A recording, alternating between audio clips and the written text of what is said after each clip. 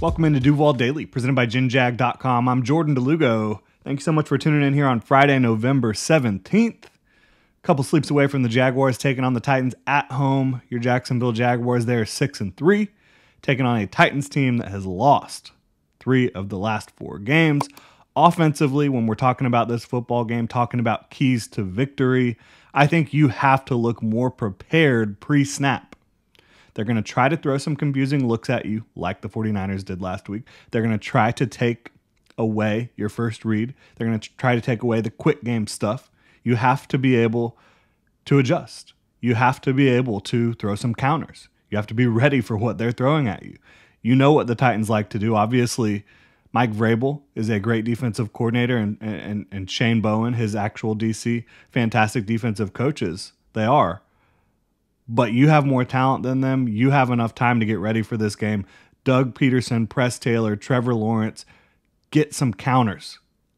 Get some some tendency breakers, right? Involved in this game plan. And the rest of the offense needs to be ready as well when you have these looks where you get up to the line of scrimmage and Trevor Lawrence needs to change something up. Tried to do it last week and the offense looked completely discombobulated. You have got to be more prepared for this football game offensively from a mental standpoint, okay? Also, I think you don't quit on the running game. I'm not saying you got to run the ball as much as you pass it, uh, but they really quit on it last week, and I don't think that's ever going to be a recipe for success. At least not with this current iteration of the Jacksonville Jaguars. You got to have some level of balance because at this point, Travis Etienne, he is your biggest big play threat. He's a guy that finds the end zone more than anyone else. He's a guy that busts off big plays more than anyone else. So I think you've got to make sure that you are getting Travis Etienne the ball. Again, you don't have to run it nearly as much as you pass it, but you cannot quit entirely on the running game, in my opinion. And look, in these high intensity moments, you have to remember that ball control and ball security is the number one thing. And the Jaguars coaching staff, I know they preach it. Uh, I know for a fact that that is their number one teaching point, their number one rule on offense. But the amount of turnovers in enemy territory and in the red zone has been damning for the Jaguars offense this year, quite frankly. I mean, just based off of turnovers in field goal range, they probably have about 30 more points on the board so far this year, right? They have got, and that's just off field goals. If they scored touchdowns on these drives, completely different thing. So they've got to take care of the football in enemy territory and in the red zone. I mean, it's just been a catastrophe in that regard so far, the amount of turnovers they've had. Lastly, for me, offensively, get Calvin Ridley the damn ball. The Jaguars are undefeated when he has eight or more targets in a game. They have scored 28 points per game per outing that they have targeted Calvin Ridley eight or more times. He is your best receiver Find ways to get him the football, period. Good things happen when Calvin Ridley has the football. Get him the football. Uh, it's not that complicated. You have seen this Jaguars offense in the past figure out ways to dial it up for specific players. They have not been doing that very well for Calvin Ridley, in my opinion, and that needs to change. I think you also need to get Evan Engram involved and, and do it without just giving him three yard targets. Like, get him down the field a little bit more. He's got great athleticism. All right. Defensively, looking at the Jaguars, not a great performance last week, obviously, but the defense has been kind of the bedrock of what the Jaguars do well in 2023. Mistakes in coverage can lead to touchdowns. You need to play assignment sound football on the back end. The Texans and 49ers both got the Jags to make mental and communication mistakes on the back end. You got to cut that crap out.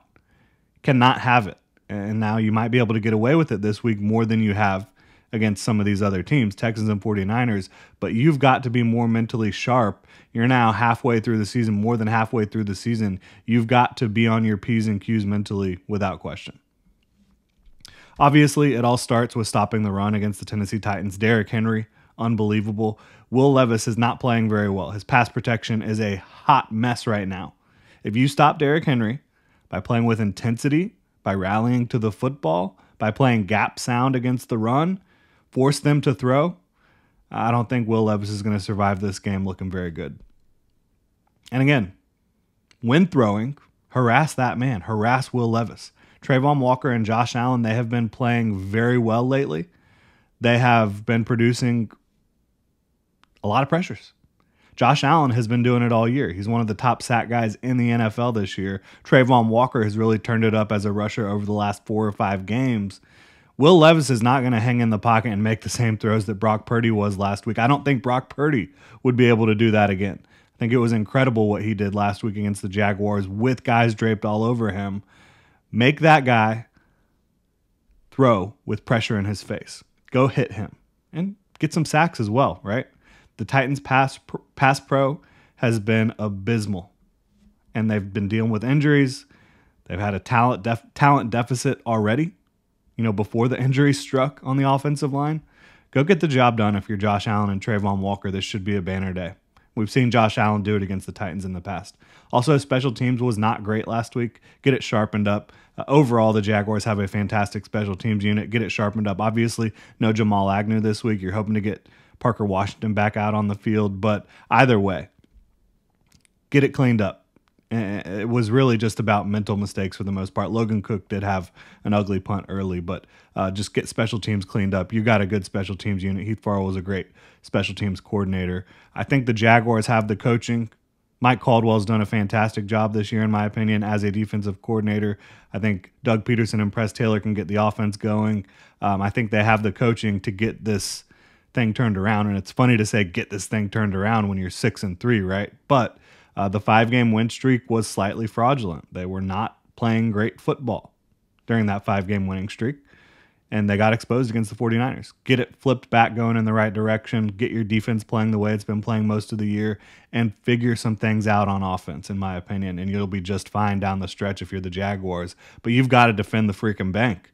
You are one and three at home in front of your hometown fans unacceptable. You got to show some pride, right?